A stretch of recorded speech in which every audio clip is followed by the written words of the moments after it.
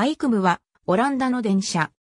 オランダ鉄道が保有、運行している。本形式には複数の名称がある。試作車は1977年に、量産車は1983年から1994年にかけてタルボット車両製造によって製造。1編成3両のアイクムマイナス -0、1には4000系、1編成4両のアイクムマイナス -3、4は4200系の形式番号を持つ。前述の通り、都市間列車であるインターシティ用に設計されており、営業最高速度は時速 140km であるが、搭載する1機あたり 315kW の出力を保持する主電動機は最高速度時速 180km まで対応可能。また、本形式は需要に応じた柔軟な運用を実現するため、各戦闘車の運転台を屋根上に設置し、その下に観音開きの貫通扉を設置している。これは複数の編成を連結する際に貫通扉を通じて編成間を乗客や乗務員が通り抜けできるようにするもので、車掌が連結している編成内のすべての乗客の切符を拝見するときや、車内販売のカートが移動するときに重宝されていた。しかし、2003年に本形式を使用する列車内での車内販売が中止され、2005年10月31日以降は使用停止となった。理由としては、貫通扉の使用頻度があまり高くなかったことや、編成の増解決時に貫通扉の開閉に時間がかかることで列車の遅延を招いていたこと、貫通扉とそこに内蔵されている貫通ホロの円滑な開閉を維持するメンテナンスに費用がかかったことなどが挙げられる。なお、口述の通り、2006年以降に行われた改修、更新工事で貫通扉は FRP 製の板で封鎖されている。車両構成は以下の通り。なお、オランダ鉄道の不番方式において、M は電動車、S は付随車、K は運転台付き、A は一等車、B は二等車、F は自転車置き場付きであることをそれぞれ示す。一等車、二等車ともに開放式の座席配置となっているが、一等車にはコンパートメント式の座席も設置されている。編成番号は4001から4007。1977年に1編成3両7編成が試作車として導入された。同年内にアイントホーフェンフェンロー間の運用に投入、後にアムステルダムナイメーヘン間に運用区間が変更されている。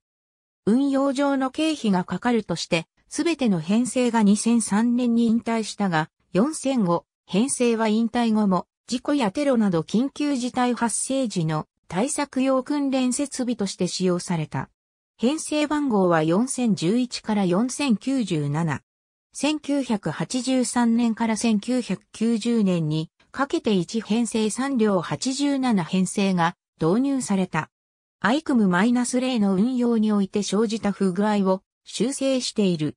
編成番号4051から4097は電気子直波制御を採用。車番は4201から4250。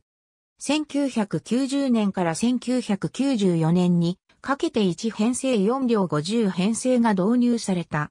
アイクム -0、1、2と異なり、電磁吸着ブレーキを搭載する点が特徴である。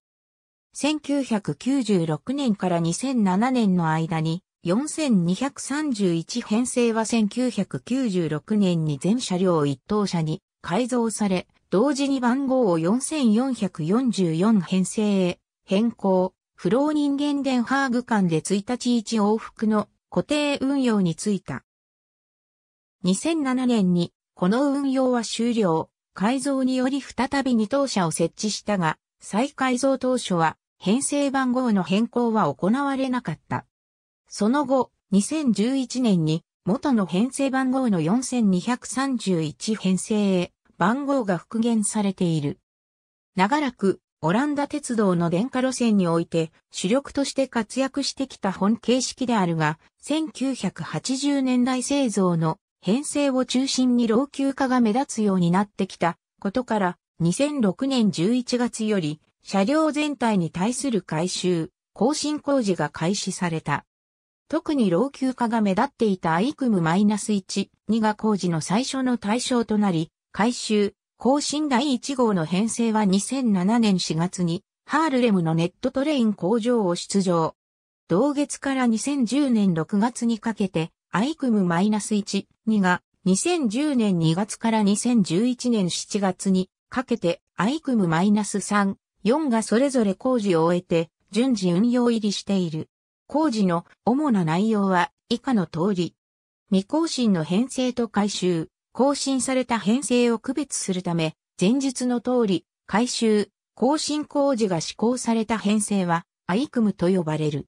1986年から2002年にかけて、複数の編成に様々な種類の広告塗装が施された。以下に、それを述べる。